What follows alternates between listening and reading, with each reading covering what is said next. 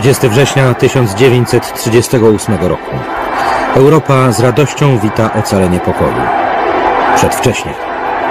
W nocy w Monachium Hitler podpisał układ. Groźba wojny została powstrzymana. Jej wybuch był jednak kwestią czasu.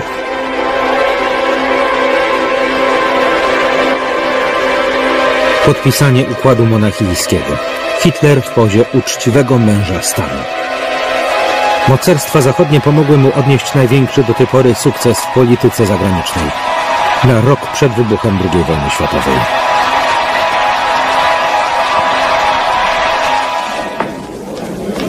W nocy z 29 na 30 września 1938 roku Hitler dostał to, czego chciał. Anglia, Włochy i Francja przekazały mu kraj sudecki. W imię pokoju poświęciły Czechosłowację. Brytyjski premier Neville Chamberlain powrócił jak zwycięzca. Wieść, którą przywiózł brzmiała nigdy więcej wojny. Entuzjastycznie witany polityk wkrótce stał się postacią tragiczną.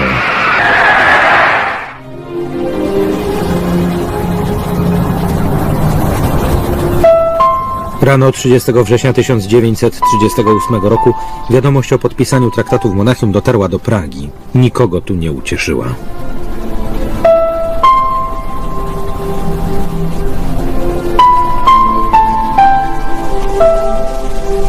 Dziennikarka i dawna przyjaciółka Franca Kawki Milena Jesenska dwa tygodnie później napisze Czyta się o wielkim uznaniu, jakie Czechosłowacja zyskała za ofiarę poniesioną dla ocalenia pokoju na świecie. Nieprawda. Nie ponieśliśmy żadnej ofiary, gdyż można to zrobić wyłącznie dobrowolnie. Nas złożono w ofierze. Wkrótce ponad 100 tysięcy ludzi podjęło ucieczkę przed nazistami. Socjaldemokraci, komuniści i Żydzi. Oni pierwsi zapłacili cenę za fikcyjny pokój.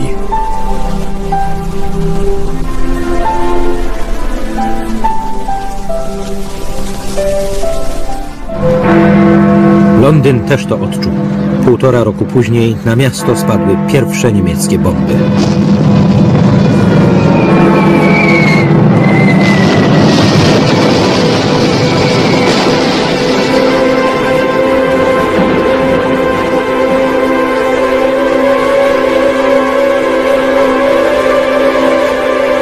Latem 1940 roku Hitler wkroczył do Paryża.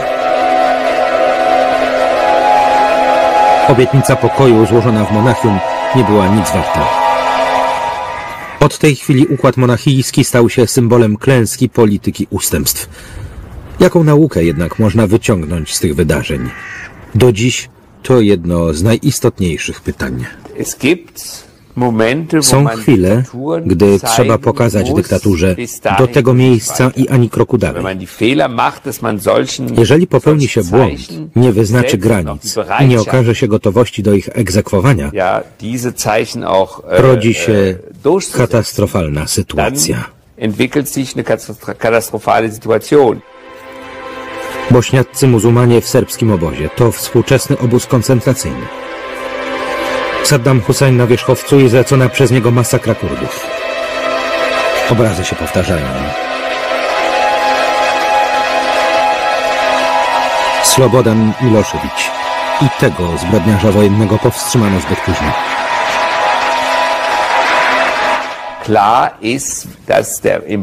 Znów płonne okazały się nadzieje, że dyktatora, który ma wyraźny cel, a Miloszewicz w 1989 roku w przemówieniu na Kosowym Polu dobitnie go określił, uda się powstrzymać w drodze negocjacji i polityki ustępstw.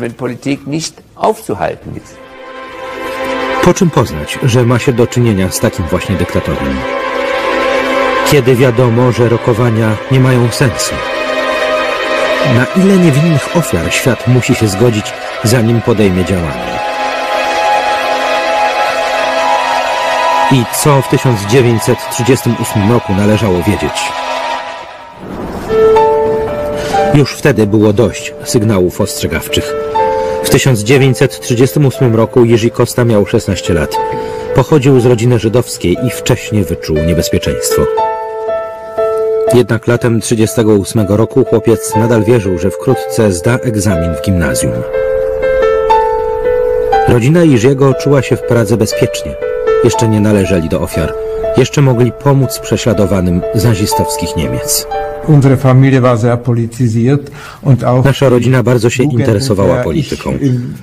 Moi koledzy już w wieku 11-12 lat działali w organizacjach młodzieżowych. eigentlich schon mit 11-12 Jahren Jugend bewegt war. Also To, co się stało w Niemczech, wzbudziło naszą czujność. W gemacht. 1938 roku jednak, gdy miałem 12 lat, nie przeczuwaliśmy tego, co nastąpi. Wkrótce rodzina Kosty też zaczęła się obawiać o życie. Byliśmy optymistami. Może słyszeliśmy tylko to, co chcieliśmy usłyszeć. Wszędzie odbywały się demonstracje przeciwko Hitlerowi i faszystom. Wybuchła wojna domowa w Hiszpanii. Wielu młodych ludzi, również Czechów, tam pojechało. Jetzt Myśleliśmy, że Europa powstrzyma katastrofę. Nie do końca zdawaliśmy sobie äh, sprawę z zagrożenia. Und die Gefahr, die spürten wir, aber äh, vielleicht wollten wir es nicht ganz wahrhaben. Opowieści uchodźców z Niemiec budziły strach. Prażanie jednak liczyli na Zachód i mieli nadzieję, że nie będzie tak źle. Hitler mówił o miłości do pokoju, już jednak myślał o wojnie. To jedyny warunek, jakiemu jest poddane nasze umiłowanie pokoju. Nikomu nie robić krzywdy, ale nikomu nie pozwolić się krzywdzić.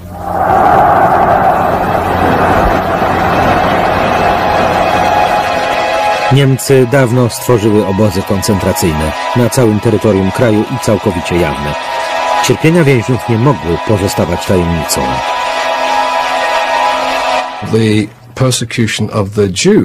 Rząd brytyjski traktował prześladowanie Żydów jako wewnętrzną sprawę Niemiec. Nie uwzględniał tego w polityce zagranicznej.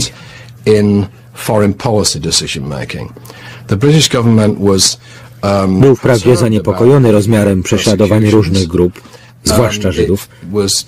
Temat ten nie odgrywał jednak decydującej roli w kształtowaniu um, polityki zagranicznej.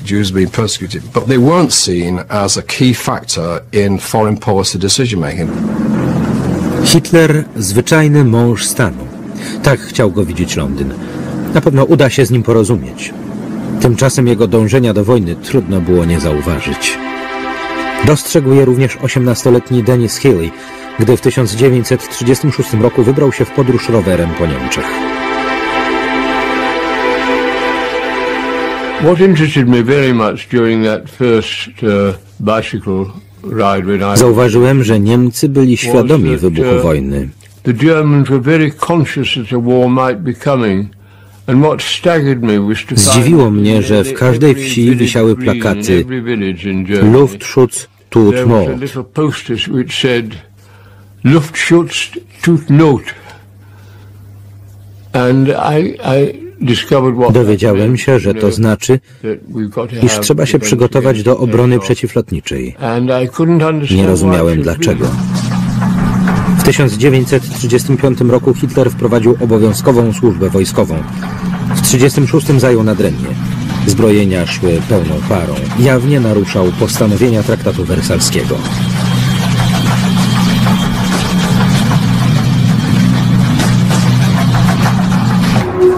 Brytyjczycy zachowywali się powściągliwie. Odniesiono się ze zrozumieniem do faktu, że Niemcy pragną uzyskać równouprawnienie militarne, ale wyłącznie w porozumieniu z Wielką Brytanią.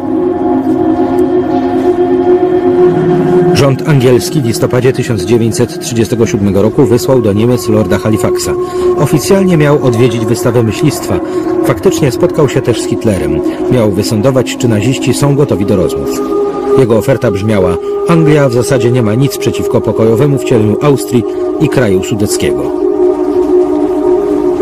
Anglicy nie wiedzieli jednak, że Hitler dwa tygodnie wcześniej zlecił generałom przygotowanie planów wkroczenia do Czechosłowacji i Austrii. Agresywne zamiary Niemiec od dawna obejmowały Francję. Tymczasem Chamberlain w liście do siostry opisywał, jak sobie wyobraża umowę z Niemcami.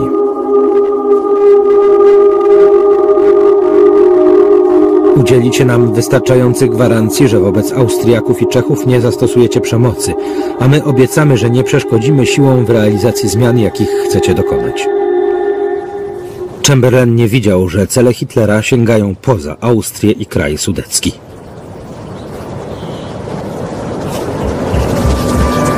Na pograniczu z Czechosłowacją mieszkało około 3 milionów Niemców.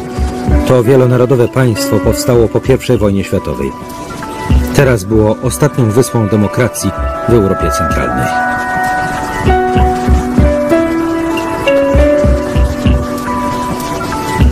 Gdy kryzys gospodarczy dotknął kraj sudecki, niemieccy nacjonaliści odpowiedzialnością za to obarczyli rząd w Pradze.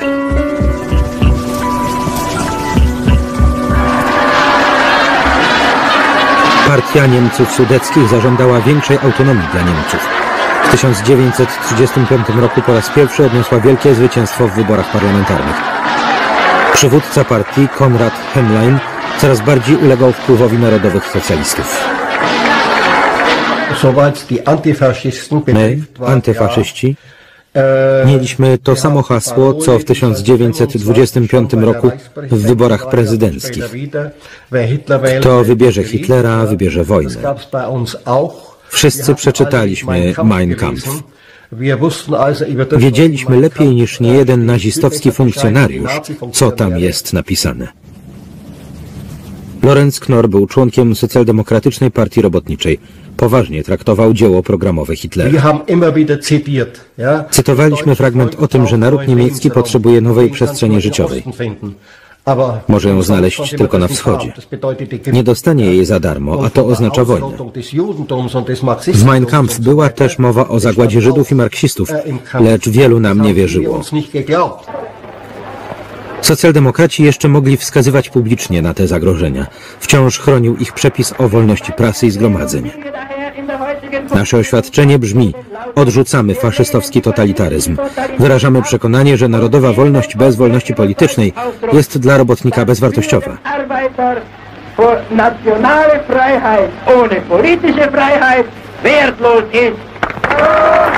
Terror nazistowski już wkrótce położył kres tej wolności.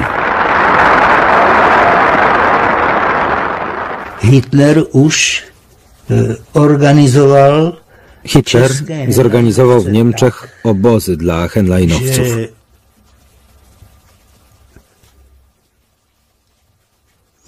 na území Uzbroił ich. za hranicema vytvořil tábory, Tak, że dwa lata przed zawarciem traktatu monachijskiego ozbrojení Henleinovci napadali z bronią na czeskie instytucje. Tři roky před Mnichovem napadali Atakowali przedstawicieli czeskiego państwa. Począwszy od żołnierzy, po burmistrzów. tak tak. Naziści co chwila prowokowali incydenty na pograniczu, a propaganda nazistowska nie marnowała okazji do podżegania konfliktu.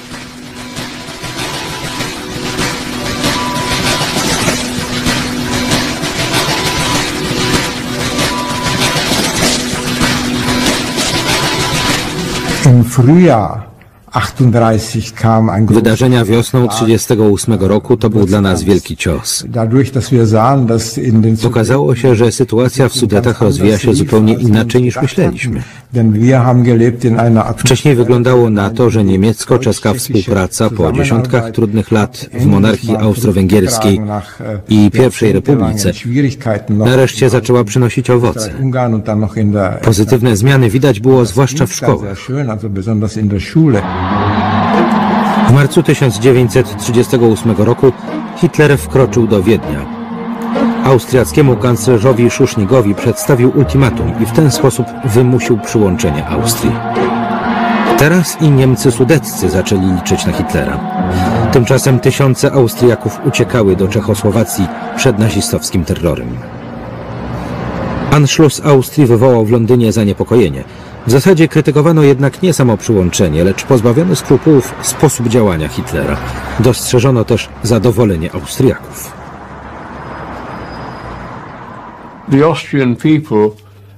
Naród austriacki niezwykle entuzjastycznie witał przyłączenie do Niemiec. W kronice filmowej oglądaliśmy wiwatujących mieszkańców uh, podczas wjazdu niemieckich żołnierzy do Wiednia. Uh, newscast after newscast showing the Austrian people clapping the German soldiers as they came into Vienna. Gdy wiadomość o przyłączeniu Austrii dotarła do premiera Chamberlaina, właśnie rozmawiał z Ribbentropem. Ten okazał całkowite zaskoczenie. Chamberlain pisał do siostry. Jest w tym pewna ironia, że 20 minut po obiedzie, podczas którego rozmawiałem z Ribbentropem o możliwościach porozumienia, wręczono mi telegram z treścią ultimatum dla Szuszniga. Podczas rozmowy z Ribbentropem zawsze ogarnia mnie bezradność. Jest taki głupi, zadowolony z siebie, pozbawiony intelektualnego potencjału. Chamberlain nie pochwalał postępowania Hitlera. W parlamencie ostrzegał jednak przed podejmowaniem pospiesznych decyzji. Mimo, że kolejnym zagrożonym krajem była Czechosłowacja, odrzucał możliwość udzielenia gwarancji pomocy dla Pragi. Niepotrzebnie sprowokowałoby to Hitlera.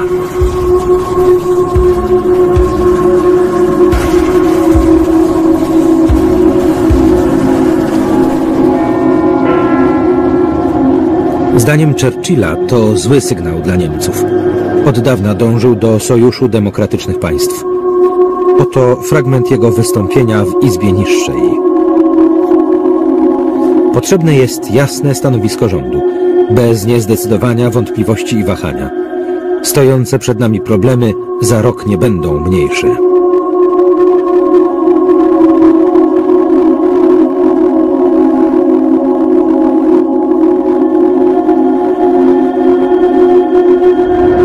Kwiecień 1938 roku.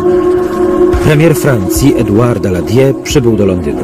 Francja miała z Pragą układ o wzajemnej pomocy. Żądała teraz wsparcia ze strony Londynu i udzielenia wyraźnego ostrzeżenia Hitlerowi. Chamberlain odmówił.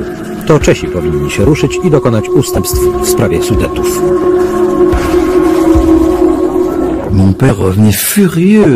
Ojciec był wściekły, podobnie jak inni towarzyszący mu Francuzi.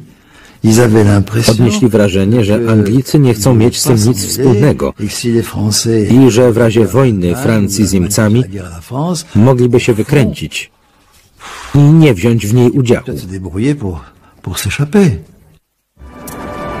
W zamku na Hradczanach nadal wierzono, że można liczyć na mocarstwa zachodnie.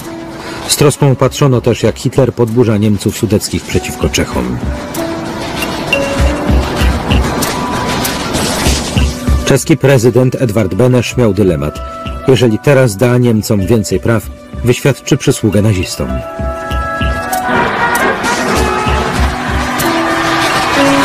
Po zajęciu Austrii w kraju Sudetów panował nastrój podniecenia. Większość od dawna opowiedziała się za hasłem powrót do ojczystej Rzeszy. Konrad Henlein musiał jednak stwarzać pozory.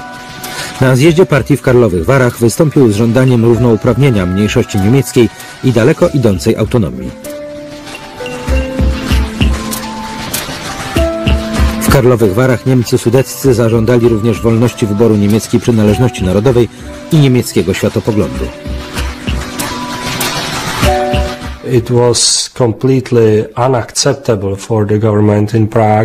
Dla rządu w Pradze uh, uh, rzecz nie do przyjęcia. Uh, demand uh, or, or the, this, this set of demands uh, actually Gdyż celem żądań było stworzenie autonomii obszaru Sudetów. For the Sudeten German districts with a Wraz z nią uzyskaliby prawo propagowania poglądów nazistowskich skierowanych przeciwko demokratycznej Czechosłowacji. Konrad Henlein od dawna otrzymywał instrukcje osobiście od Hitlera. Zapisywał je. Celem jest, żeby zawsze żądać tego, co dla czeskiego rządu będzie nie do przyjęcia.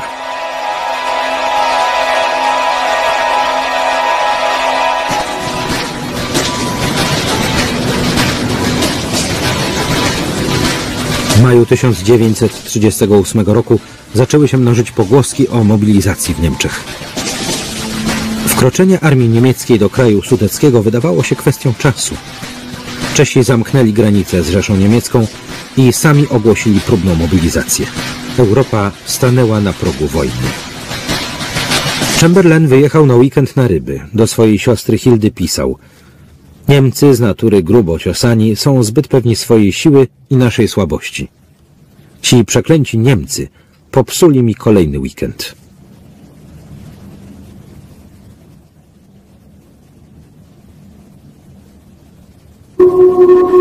Chamberlain wysłał ambasadora Hendersona do Berlina, by ten przekazał, że Anglia być może poczuje się zmuszona do ingerencji. Znowu tylko niejasne ostrzeżenie. Berlin zdementował pogłoski o ruchach wojsk. Istotnie ich nie było, na razie. Hitler był wściekły z powodu czeskiej mobilizacji. Od swoich generałów zażądał. Najpóźniej do 1 października mają być gotowi do ostatecznego podboju Czechosłowacji.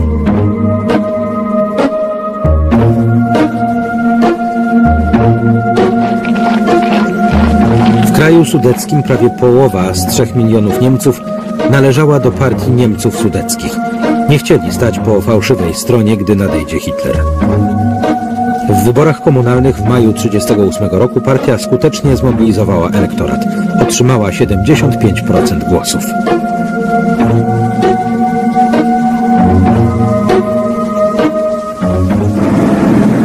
Konrad Henlein wielokrotnie jeździł do Londynu i prezentował się jako umiarkowany przedstawiciel interesów niemieckiej mniejszości.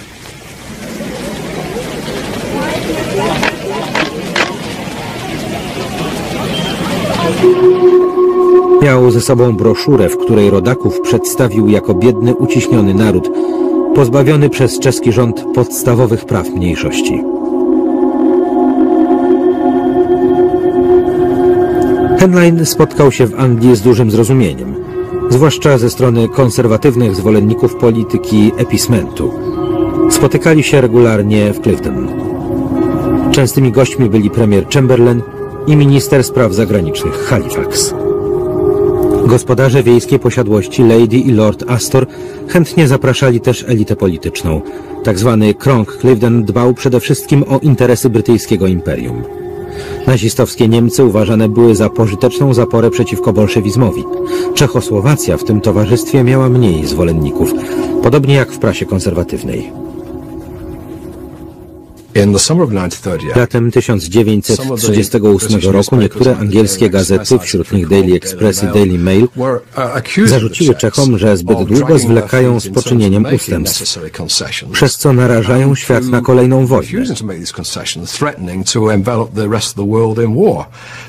Przedstawiani w takim świetle Czesi nie byli popularni.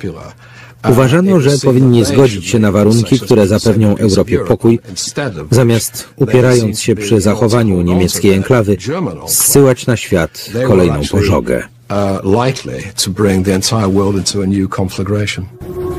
Wielu uważało, że należy oddać Hitlerowi kraj sudecki, a on resztę świata zostawi w spokoju. Wśród stałych gości w Clifton był również wydawca Timesa Jeffrey Dawson – na początku czerwca napisał, że nie ma innej drogi, jak tylko odstąpienie kraju sudeckiego Rzeszy Niemieckiej.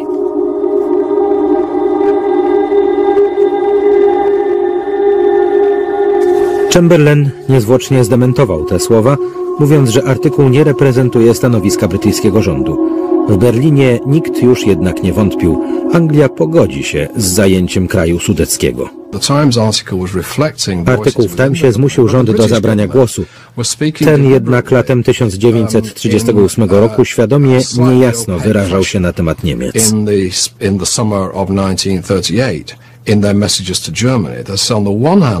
Z jednej strony wskazywał, że czeski rząd można by skłonić do ustępstw wobec Niemiec w sprawie Sudetów.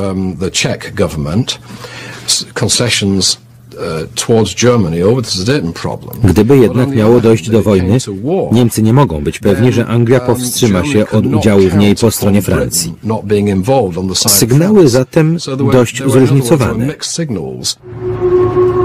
Podczas gdy rząd w Londynie nie mógł się zdobyć na jasne określenie stanowiska, niektórzy przedstawiciele elity politycznej Anglii wyrażali wręcz podziw dla niemieckiego dyktatora. Lord Londonderry, tu z Hitlerem i Ribbentropem, wytrwale walczył o porozumienie z nazistowskimi Niemcami.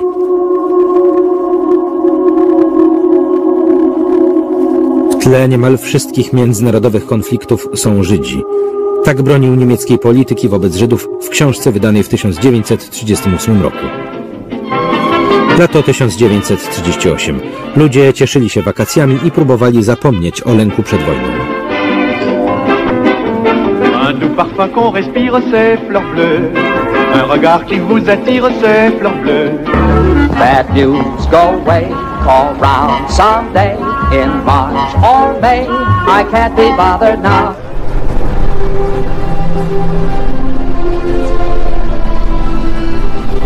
Mieszkańcy Pragi bardziej niż inni wyczuwali zagrożenie. Jeszcze ufali, że ich rząd dzięki negocjacjom z mniejszością niemiecką potrafi w pokojowy sposób rozwiązać kryzys sudecki. Liczyli też na to, że Zachód nie pozostawi ich samych. Dla wielu dzieci były to jednak ostatnie beztroskie wakacje na wiele lat.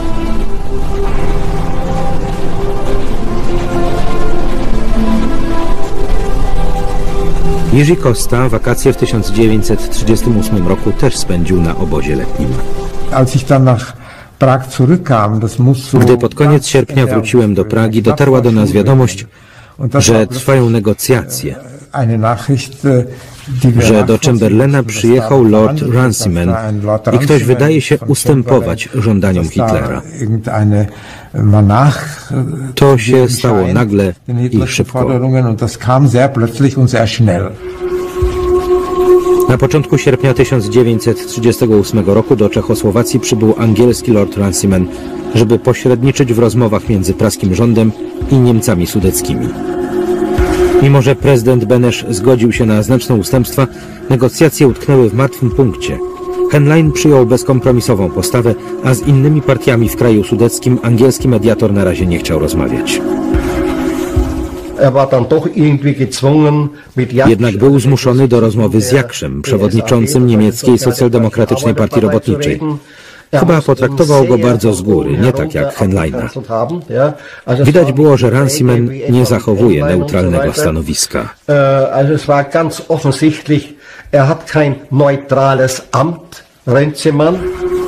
Angielski lord dostrzegł, że Henlein nie jest zainteresowany porozumieniem z Pragą. W raporcie jednak okazał zrozumienie dla Niemców sudeckich. Czuje do nich dużą sympatię, trudno być pod rządami obcej rasy. Ranciman sugeruje swojemu rządowi odstąpienie kraju sudeckiego. Po odebraniu od Hitlera nowych instrukcji 4 września 1938 roku Henlein ostatecznie odrzucił ofertę autonomii przedstawioną przez praski rząd. Hitler chciał wojny i dążył do konfrontacji.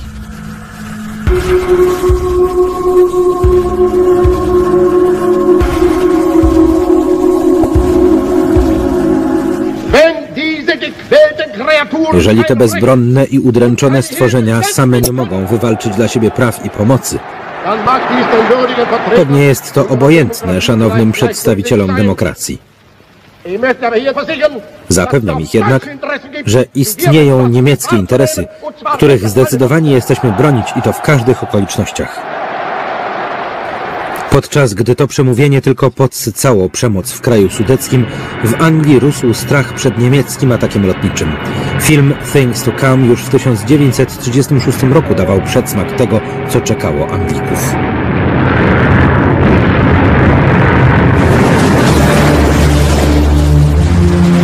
Alianci mieli przewagę na morzu i na lądzie. Mimo to Brytyjczycy dali się zastraszyć niemieckiej propagandzie. Chamberlain uważał, że wkrótce nastąpi atak lotniczy na Anglię, a kraj stanie się bezradną ofiarą. Zaproponował Hitlerowi spotkanie. W swojej polityce zawsze się starałem o zapewnienie pokoju. the Gotowość, z jaką Führer przyjął moją propozycję, napawa mnie nadzieją, że wizyta u niego nie będzie daremna.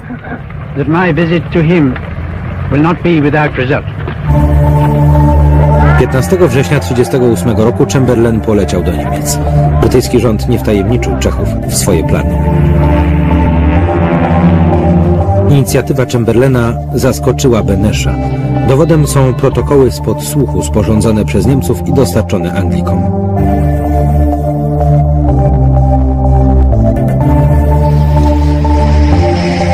Chamberlain odwiedził niemieckiego dyktatora w rezydencji Berghof. Hitler wskazał na ponad 300 Niemców sudeckich, ofiary czeskiej przemocy. O tym, że zabitych było 27, wśród nich 16 Czechów, Chamberlain się nie dowiedział. Hitler zagroził gościowie zarządzeniem natychmiastowej mobilizacji, jeżeli nie zostaną oddane wszystkie tereny, na których przeważała ludność niemiecka. Chamberlain wierzył w pokojowe porozumienie z Hitlerem. Pisał do siostry. W tłumie ludzi pozostałby niezauważony i można by go wziąć za malarza pokojowego, którym kiedyś był. Z jego twarzy wyczytałem, że jest twardy i bezwzględny. Mimo to odnoszę wrażenie, że mam do czynienia z człowiekiem, na którego słowie można polegać. Francuski premier Daladier poleciał do Londynu. Wątpił w wiarygodność Hitlera. Bez wsparcia Anglików nie chciał jednak ryzykować wojny. Należało nakłonić Czechów, żeby ustąpili. Radio praskie podało. W chwili największej troski, gdy zagrożono nam użyciem przemocy, nasi przyjaciele poradzili nam, żebyśmy pokój okupili ustępstwami i ofiarą. Europa przeżywa tak silny kryzys, że nie mogą nam pomóc. a vykoupili ústupky a oběťmi, poněvadž nám nemohou přispěti na pomoc. Demonstrować Nie przestaliśmy demonstrować.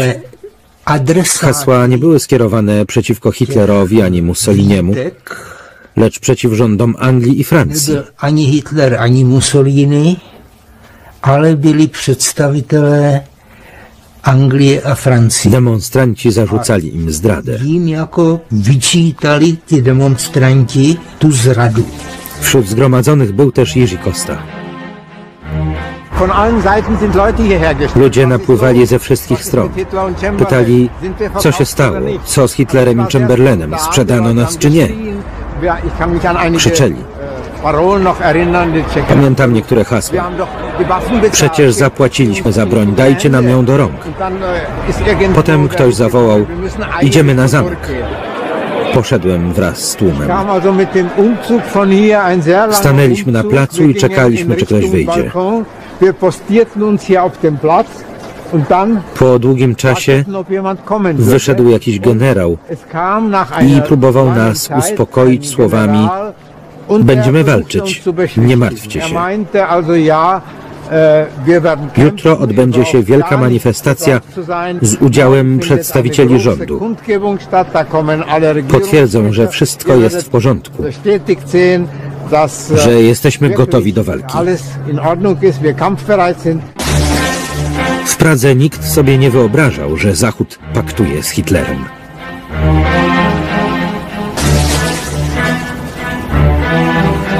Wkrótce czeski rząd poznał tę gorzką prawdę. Bez pomocy wojskowej nie miał innego wyjścia, jak poddać się bez walki. 23 września zadowolony Chamberlain wyruszył do Bad Godesberg do Hitlera z wiadomością, że Czesi zgodzili się na odstąpienie kraju sudeckiego. Ku zaskoczeniu wszystkich Hitler przedstawił ultimatum. Zamiast uporządkowanego odstąpienia pod międzynarodową kontrolą, Niemcy zażądali opuszczenia obszaru sudeckiego do 1 października. Teraz również Chamberlain zaczął się obawiać, że wojny nie da się uniknąć.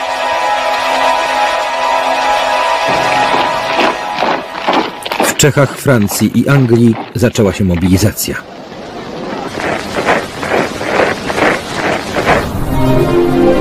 Praska dziennikarka Milena Jesenska pisała w tych dniach. Miasto się zmieniło. Parki są rozkopane, okna zaklejono czarnym papierem. W szkołach kwaterują żołnierze. Nocą miasto wygląda jak apokaliptyczna zjawa.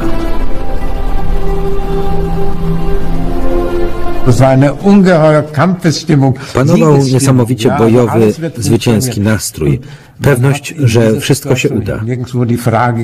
Nikt nie pytał, czy zachodni alianci istotnie pomogą, podążą za nami, czy ustąpili i Hitler przeforsuje swoje żądania.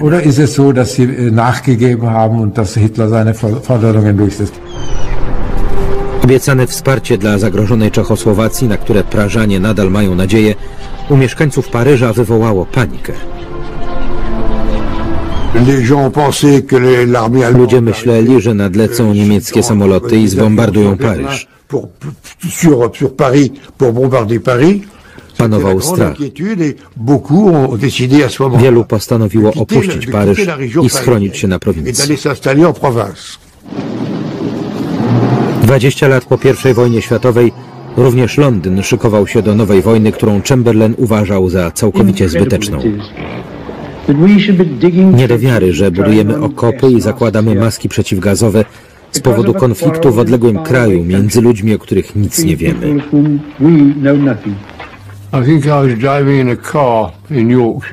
Jechałem samochodem w. Yorkshire, gdy w radiu usłyszałem to przemówienie. Ogarnęła mnie wściekłość.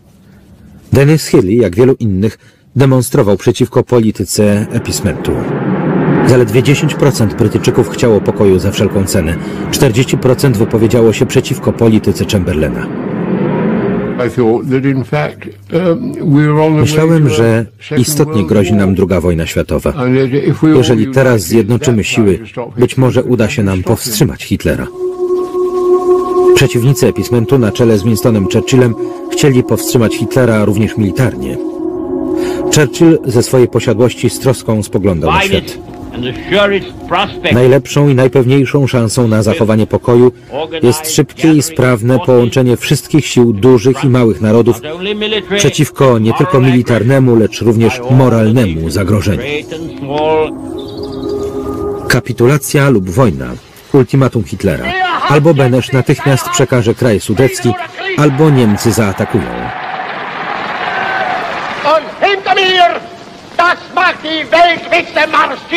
Za mną pójdzie naród inny niż w 1918 roku. Jahr 1918. Wir sind entschlossen. Jesteśmy zdecydowani. Niech pan Benesz wybiera. Nie wszyscy Niemcy jednak chcą już dziś maszerować dla Hitlera. W Berlinie trwają przygotowania do puczu. Oficerowie nie chcą wojny, przynajmniej nie teraz. Armia jest za słaba, żeby podejmować walkę z Anglią, Francją i Związkiem Radzieckim. W kręgu spiskowców wokół generała Becka znalazł się również Hans von Donani. Od czasu, gdy był referentem w Ministerstwie Spraw Wewnętrznych Rzeszy, czekał na okazję do puczu. Ojciec od początku miał teczkę i stale ją uzupełniał dowodami przestępstw i łamania zasad państwa prawa. Jeżeli zamach się uda i Hitler zostanie odsunięty od władzy, zamierzał wytoczyć Hitlerowi i członkom jego rządu publiczny proces. Pragnął mieć prawne podstawy do zamachu stanu. Londyn był dokładnie poinformowany o planach niemieckich oficerów. Odmówił jednak spiskowcom jakiegokolwiek wsparcia.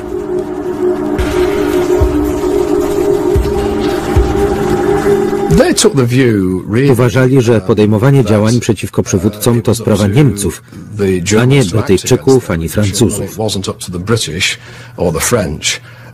Jeżeli Niemcy chcą się pozbyć Führera, niech to zrobią. Dopiero gdy już tego dokonają, coś może się wydarzyć z zewnątrz.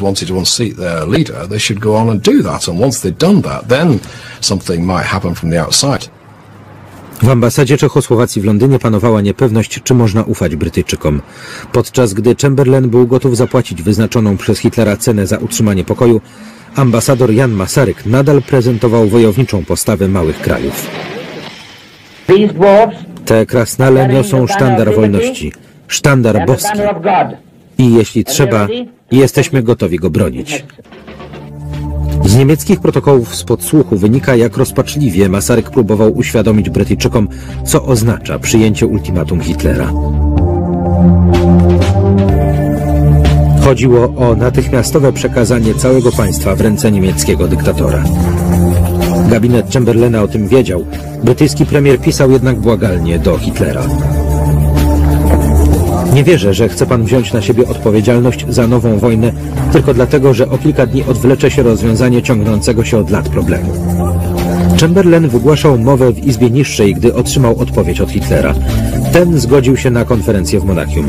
Radość wybuchła nie tylko w brytyjskim parlamencie. Mes parents avaient une, une fillette, ma soeur. Rodzice chcieli uchronić moją młodszą siostrę przed nalotami na Paryż. Postanowili zawieźć ją na prowincję, do mojej babci, do Corrèze, Alors un matin, nous sommes partis en voiture Wyjechaliśmy i w południe zatrzymaliśmy się na obiad. Gdy wstawaliśmy od stolika, usłyszeliśmy w radiu, że w Monachium ma się odbyć konferencja czterech państw w celu ogłoszenia pokoju. Wtedy ojciec powiedział, nie musimy jechać do Korees, wracamy do Paryża. Tego samego wieczoru byliśmy w domu. Rankiem 29 września 1938 roku Chamberlain poleciał do Monachium. Moim celem jest pokój w Europie. Mam nadzieję, że ta podróż otworzy do niego drogę. Kraj sudecki Hitler dostanie bez problemu przy stole negocjacyjnym. Wolałby go jednak zdobyć jak wojenny bohater. Tak uważali dyplomaci w Ministerstwie Spraw Zagranicznych. Obawiali się wojny, której Niemcy jeszcze nie mogłyby wygrać.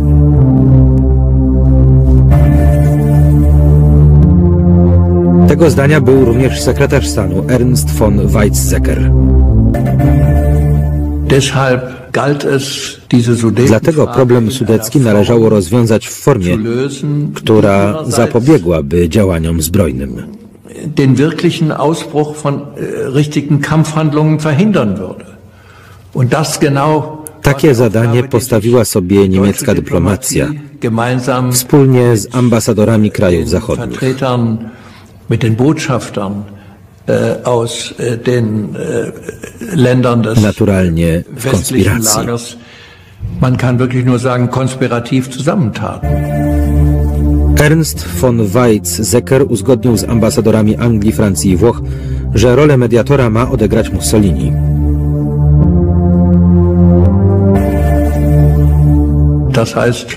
Chodziło o podsunięcie Mussoliniemu, wielkiemu przyjacielowi Hitlera, Hitler, propozycji traktatu, którą miał forsować podczas konferencji i er która ostatecznie została przyjęta. Konferenz vertreten sollte und der dann schließlich auch angenommen worden ist. Wczesnym popołudniem 29 września 1938 roku w brunatnym domu w Monachium rozpoczęła się konferencja. Negocjacjach nie przewidziano udziału Czechów. Gdy na miejsce przybywali uczestnicy, małą czeską delegację na lotnisku powitało gestapo. Na wyniki obrad musiała poczekać w hotelu.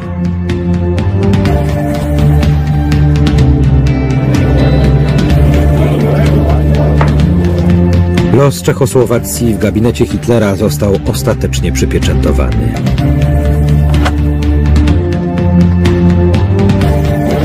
Hitler oprócz Mussoliniego zaprosił szefa rządu francuskiego Edwarda Daladiera i brytyjskiego premiera Neville'a Chamberlaina.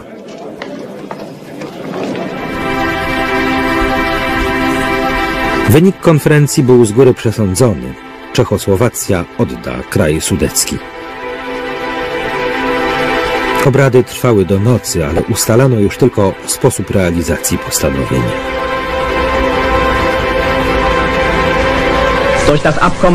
Na podstawie traktatu zawartego 29 września w Monachium kraj sudecki powrócił do wielkiej niemieckiej ojczyzny. W dodatku na warunkach określonych przez Hitlera. 1 października Wehrmacht mógł wkroczyć do kraju sudeckiego. Mocarstwa zachodnie próbowały ratować twarz, podpisując deklarację o gwarancjach dla pozostałego obszaru Czechosłowacji, wiedząc, że nie jest nic warta. Terminée. Konferencja w Monachium dobiegła końca. Wszyscy zaczęli wychodzić. Ojciec po coś wrócił i ze zdziwieniem zobaczył, jak pan Chamberlain sam opuszcza pokój Hitlera. Najwyraźniej poczuł potrzebę rozmowy z Hitlerem bez Daladiera, nic mu o tym nie mówiąc. Chamberlain umówił się na spotkanie następnego dnia rano w prywatnym mieszkaniu Hitlera. Po powrocie do Anglii dumnie zaprezentował deklarację o wyrzeczeniu się wojny. Oto dokument, na którym jest zarówno jego, jak i moje nazwisko.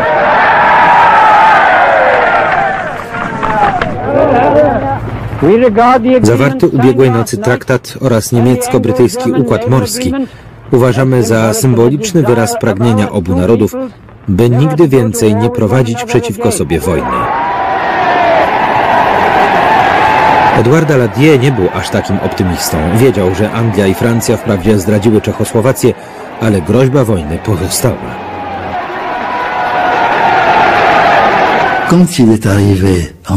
Gdy wylądowali w Paryżu, otwarto drzwi i zobaczył hałaśliwy, podniecony tłum. Powiedział do swojego asystenta. Przyszli, żeby mnie zlinczować za podpisanie traktatu. Nagle rozległy się okrzyki brawo. Był zdziwiony i powiedział do siebie. Asystent to jednak usłyszał. Et il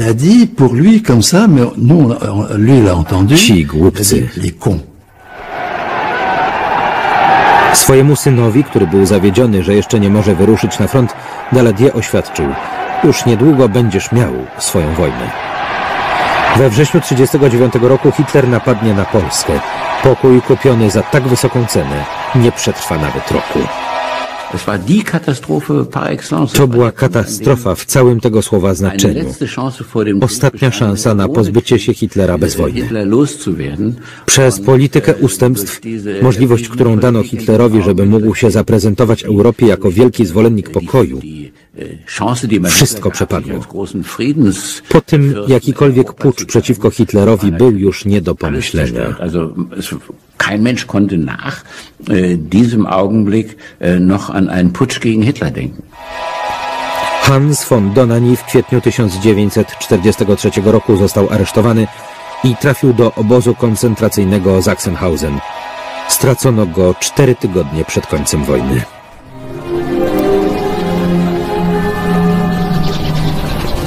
Wczesnym rankiem 30 września w Pradze rozeszła się wieść o wyniku konferencji w Monachium.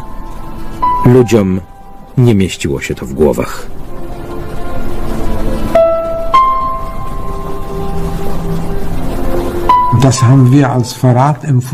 Odebraliśmy to jak zdradę. Stara Anglia i jej demokracja parlamentarna. Francja z jej socjalistycznym, lewicowym podłożem. Co były przecież dla świata wzory demokracji.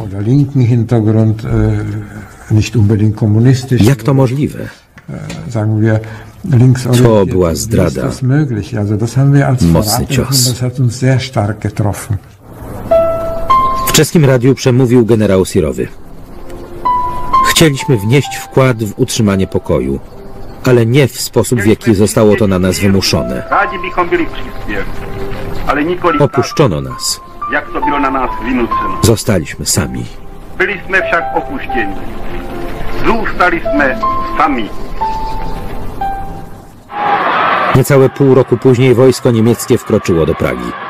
Państwa zachodnie były wstrząśnięte i bezczynnie się temu przyglądały.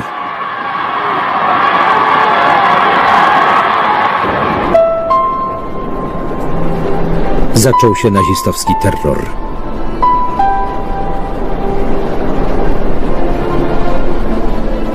Praska dziennikarka Milena Jesenska pisała w marcu 1939 roku. Jak zawsze, gdy dzieją się rzeczy wielkie, Czesi zachowują się wzorowo. Robotnicy i urzędnicy jak zwykle jeździli do pracy i jak zwykle tramwaje były przepełnione. Tylko ludzie byli inni. Milczeli. Jeszcze nigdy nie słyszałam tylu milczących ludzi. Milena Jesenska przystąpiła do ruchu oporu. W 1944 roku została zamordowana w obozie w Ravensbrück.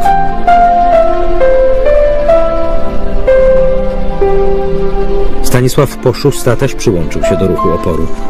Aresztowano go i uwięziono w obozie w Mauthausen.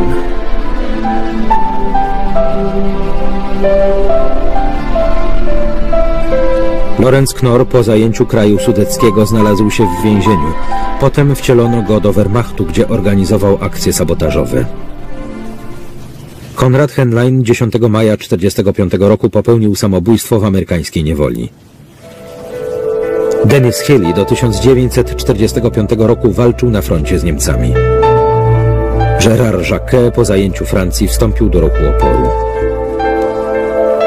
Jean Daladier w wieku 18 lat został żołnierzem, podobnie jak Richard von Weizsäcker, którego ojciec w 1949 roku został uznany za przestępcę wojennego. On sam skończył prawo i pomagał bronić ojca. W działalności politycznej próbował wyciągnąć wnioski z wydarzenia, jakim był traktat monachijski.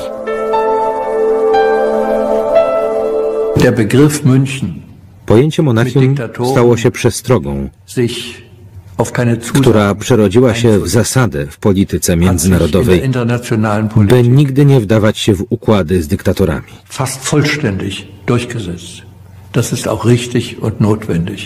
Trudno o uczciwą ocenę tych, którzy wówczas podpisali układ monachijski. Ale dzisiejsza ocena jest słuszna, konieczna i nieunikniona. To niebudząca wątpliwości konsekwencja. Z błędu, jakim był układ w Monachium, a był nim na pewno, należy wyciągnąć wniosek, że trzeba natychmiast reagować, gdy mamy do czynienia z kimś, z czyją polityką i strategią się nie zgadzamy. Dyktatura kieruje się wewnętrzną logiką, że inni, co oczywiste i zrozumiałe, nie chcą wojny i słusznie się jej obawiają. W zasadzie chcą zapobiec äh, podjęciu äh, działań zbrojnych, uniknąć ich. To stanowi o sile dyktatury, gdyż może grać tym lękiem, wykorzystać go. okazać sprzeciw, wyrazić gotowość do podjęcia walki. To najtrudniejsza rzecz dla demokracji. Rodzina Jerzego Kosty w 1938 roku darem nie liczyła na to, że państwa demokratyczne podejmą walkę z Hitlerem. Gdy wreszcie były do tego gotowe, nie mogły już zapobiec ludobójstwu. Jerzy Costa z trudem uniknął śmierci. W 1941 roku wywieziono go do obozu w Terezinie, w 1944 do Auschwitz.